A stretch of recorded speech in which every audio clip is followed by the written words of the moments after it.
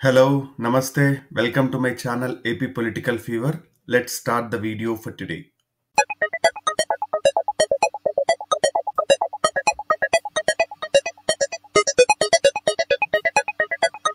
so మనం already నూట ముప్పై నియోజకవర్గాల పైగా ఎన్నికల సర్వే అండ్ ప్రెడిక్షన్ వీడియోస్ చేసాము ఎవరైనా వీడియోస్ కావాలనుకుంటే please go ahead and watch them ఈ వీడియోలో వచ్చేసరికి మనం జగ్గంపేట నియోజకవర్గం గురించి చూద్దాము. ఇది జనరల్ కాన్స్టిట్యున్సీ ఉమ్మడి ఈస్ట్ గోదావరి జిల్లాలో ఉండేది. ఇప్పుడు కొత్తగా ఫామ్ అయిన కాకినాడ జిల్లా కాకినాడ పార్లమెంట్ పరిధి కిందికి వస్తుంది.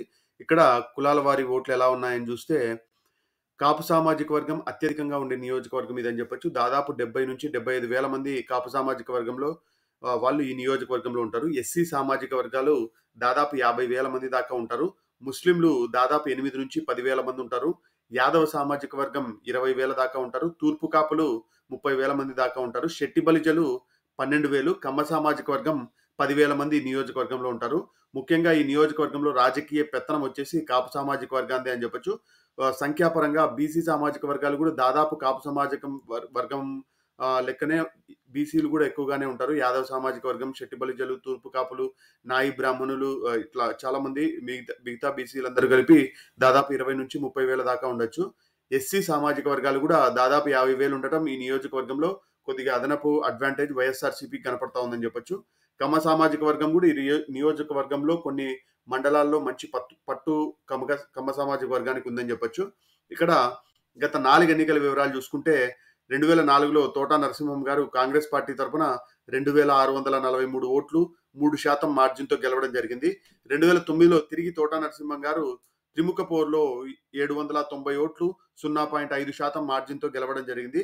అప్పుడు జ్యోతుల నెహ్రూ గారు టీడీపీ నుంచి ప్రజారాజ్యం పార్టీకి జంప్ అయి ప్రజారాజ్యం పార్టీ తరఫున పోటీ చేసి రెండో స్థానంలో రావడం జరిగింది. ఆ ఎన్నికలలో టీడీపీ మూడో స్థానానికి పడిపోయింది అని చెప్పొచ్చు. రెండు వేల పద్నాలుగులో జ్యోతుల నెహ్రూ గారు రాష్ట్ర విభజన అనంతరం వైఎస్ఆర్సీపీ పార్టీలో చేరి దాదాపు పదహారు వేల మెజారిటీతో తొమ్మిదిన్నర శాతం మార్జిన్తో గెలవడం జరిగింది. రెండు వేల పంతొమ్మిదిలో జ్యోతులు చిట్టిబాబు గారు చంటిబాబు గారు వైఎస్ఆర్సీపీ తరపున ఇరవై మూడున్నర వేల భారీ మెజారిటీతో దాదాపు పదమూడు పర్సెంట్ మార్జిన్తో తన సోదరు సోదరుడు వరుస అయిన జ్యోతుల నెహ్రూ గారి పైన ప- గెలు గెలవడం జరిగింది. అప్పుడు ఈ నియోజకవర్గంలో జనసేన పార్టీ తరపున పోటీ చేసిన అతనికి కూడా దాదాపు పది నుంచి పన్నెండు వేల ఓట్లు రావడం వల్ల ఆ డెంట్ టీడీపీ క్యాండిడేట్కి పడిందని చెప్పొచ్చు.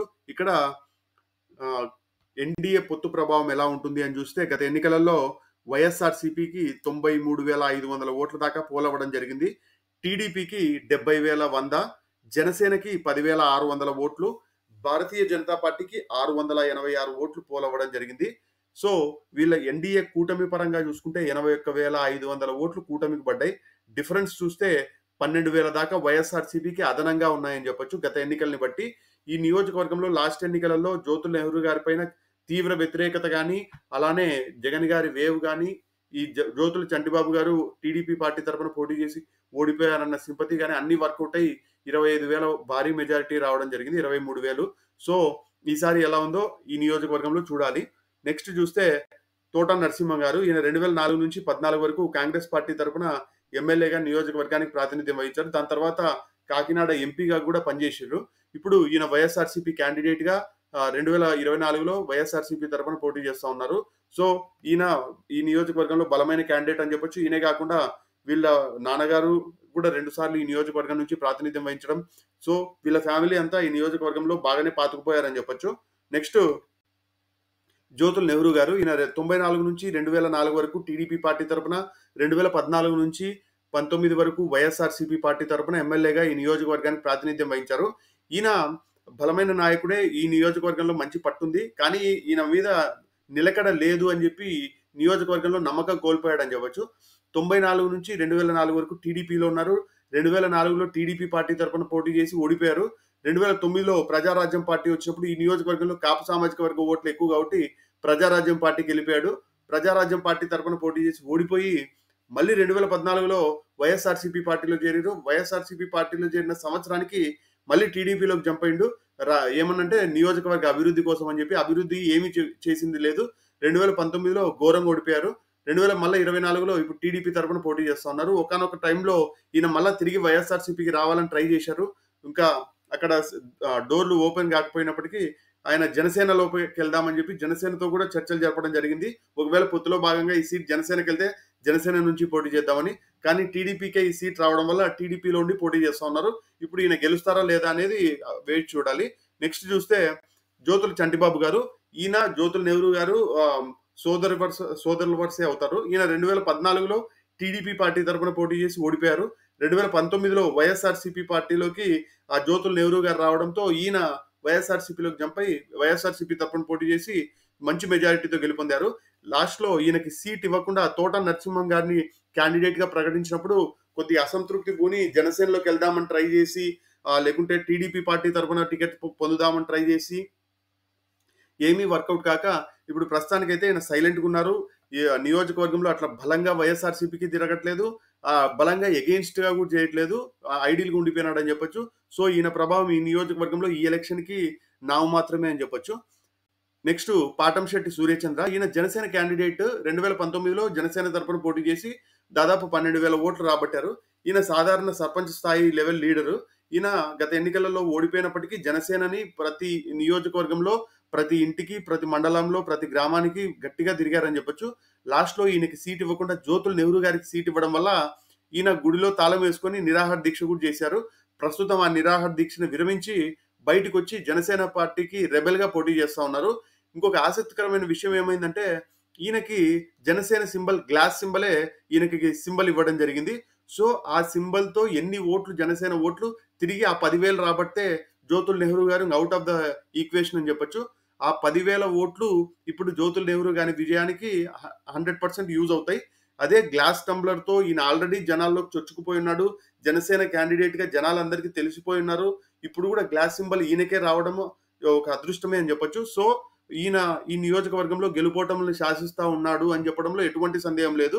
ముఖ్యంగా ముగ్గురు గ్లాస్ సింబల్ కోసం అర్జీ పెట్టుకున్నప్పటికీ లాటరీలో ఈయన పేరు రావడం జరిగింది. అంత అదృష్టవంతుడు అని చెప్పొచ్చు. సో సూర్యచంద్ర గారు ఈ నియోజకవర్గంలో గెలుపుని శాసిస్తా ఉన్నాడంటే అతిశయోక్తం కాదని నేను అనుకుంటా ఉన్నాను. నెక్స్ట్ ఇక్కడ జగ్గంపేట పరంగా చూసుకుంటే తోట నరసింహం గారు వైఎస్ఆర్సీపీ తరపున పోటీ చేస్తా ఉన్నారు. జ్యోతుల నెహ్రూ గారు టీడీపీ పార్టీ తరపున పోటీ చేస్తూ ఉన్నారు. ఇద్దరు కాకినాడ జిల్లా వరకు పరిచయం అక్కర్లేని పేర్లు. నియోజకవర్గంలో దాదాపు మూడు నాలుగు దశాబ్దాల నుంచి వీళ్ళ ఫ్యామిలీలు ఎన్ని ఎన్నికలలో పోటీ చేస్తూ వస్తూ ఉన్నారు.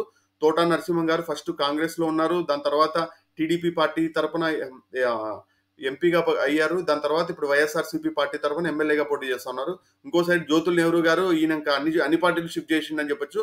టీడీపీ పీఆర్పీ వైసీపీ టీడీపీ మళ్ళా జనసేనకి వెళ్దామని మళ్ళా టీడీపీలోకి ఇప్పుడు ఎంపీ ఎమ్మెల్యే టికెట్ సంపాదించాడు. సో ఇద్దరు చాలా పార్టీలు జంప్ కొడతా అటు ఇటు ఇటు అటు అయి ఇప్పుడు ఇద్దరు ప్రత్యర్థులుగా మారినారు. వీళ్ళే రెండు వేల నాలుగు తొమ్మిదిలలో కూడా వీళ్ళిద్దరే ప్రత్యర్థులు. ఆ రెండు సార్లు తోట నరసింహం గారికే విజయం దక్కిందని చెప్పొచ్చు. తోట నరసింహం గారికి ఫ్యామిలీ ఇమేజ్ ఈ నియోజకవర్గంలో చాలా మటుకు అభివృద్ధి కార్యక్రమాలు సంక్షేమ కార్యక్రమాలు జరగడము ప్లస్ ఆ, జ్యోతుల చంటిబాబు గారి మీద ఉన్న వ్యతిరేకత ఈయన మీద లేకపోవడం ఇది ఆయనకు పాజిటివ్ అని చెప్పొచ్చు.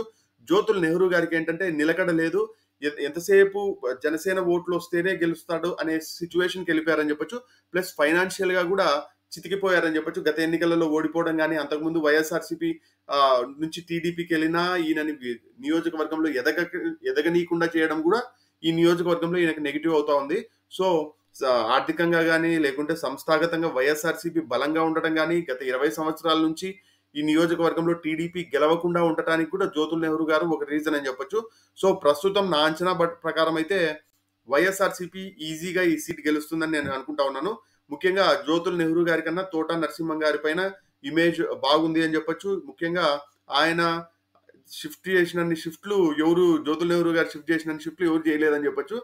ఇంకొకటి వచ్చేసి స- సూర్యచంద్ర గారు గత ఎన్నికలలో జనసేన పార్టీ తరపున పోటీ చేసి పన్నెండు వేల ఓట్లు రాబట్టిన వ్యక్తి ఈసారి కూడా జనసేన సింబల్ ఆయనకి రావడం అది అద- అదనపు అడ్వాంటేజ్ అని చెప్పొచ్చు. సో ఆ సింబల్తో ఒక ఐదు వేల ఓట్లు ఆయన గానే చీలిస్తే జ్యోతుల్ నెహ్రూ గారు భారీ మెజారిటీతో ఓడిపోవచ్చు. లేదు రెండు మూడు వేల ఓట్లతో చీల్చినా కూడా ఈజీగా వైఎస్ఆర్సీపీ సీట్ గెలిచే సీట్ అవుతుంది. ముఖ్యంగా గత ఇరవై సంవత్సరాల నుంచి టీడీపీ నియోజకవర్గంలో గెలవలేకపోతుంది. ఈసారి కూడా గెలవలేదని నా ప్రెడిక్షన్ ఒకవేళ మీరు ఈ ప్రెడిక్షన్తో ఏకీభవిస్తే లైక్ చేయండి. అలాగనే ఏకీభవించకపోతే కామెంట్ రూపంలో తెలియజేయండి. అలాగనే చాలా మంది చూస్తా ఉన్నారు కానీ సబ్స్క్రైబ్ చేసుకోవట్లేదు. Please try to subscribe have a good day thank you bye